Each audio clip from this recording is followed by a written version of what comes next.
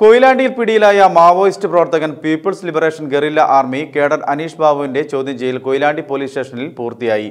തുടർന്ന് രാത്രിയോടെ താലൂക്ക് ആശുപത്രിയിൽ വൈദ്യപരിശോധനയ്ക്ക് ശേഷം പ്രതിയെ കോഴിക്കോടേക്ക് കൊണ്ടുപോയി.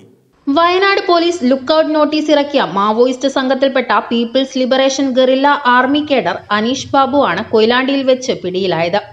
തമിഴ്നാട് തിരുനെൽവേലി സ്വദേശിയായ മാവോയിസ്റ്റിനെ സ്പെഷ്യൽ ഓപ്പറേഷൻ ഗ്രൂപ്പാണ് പിടികൂടിയത്.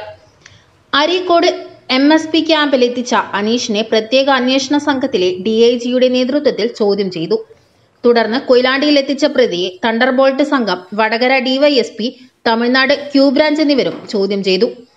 മാവോയിസ്റ്റുകൾക്ക് സഹായം ചെയ്യുന്നയാളാണ് ഇയാളെന്നാണ് പ്രാഥമിക വിവരം.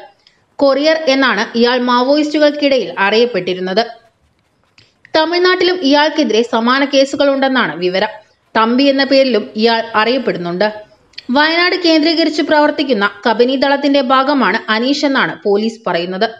കൊയിലാണ്ടി പോലീസ് സ്റ്റേഷനിലെ ചോദ്യം ചെയ്യലിന് ശേഷം രാത്രിയോടെ കൊയിലാണ്ടി താലൂക്ക് ആശുപത്രിയിൽ എത്തിച്ച് വൈദ്യപരിശോധനയ്ക്ക് ശേഷം പ്രതിയെ കോഴിക്കോടേക്ക് കൊണ്ടുപോയി. News bureau Koyilandy.